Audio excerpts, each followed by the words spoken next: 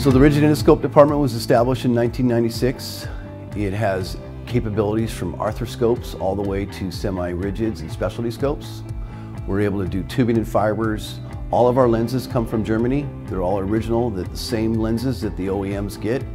As the manufacturers come to the hospitals and tell them that the glass that the third parties are using isn't as good or as fake glass, there is no specialty glass within a rigid scope. These lens manufacturers in Germany make them for all the OEMs as well as third parties.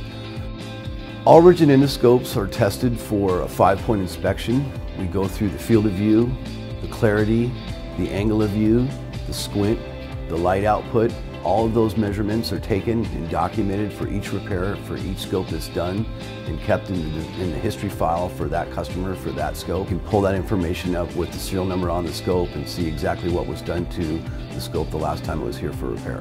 What the customer can expect as a benefit for rigid repairs at BPI Medical is we have fast turn times to get the scope back into service. We have training to prevent repairs. We have four ISHM approved credited CEU classes. Not only that, you're going to get cost savings through repair prevention and competitive pricing. So we're not only going to save you money on each repair, but the reduction in repairs is going to help save the bottom line as well.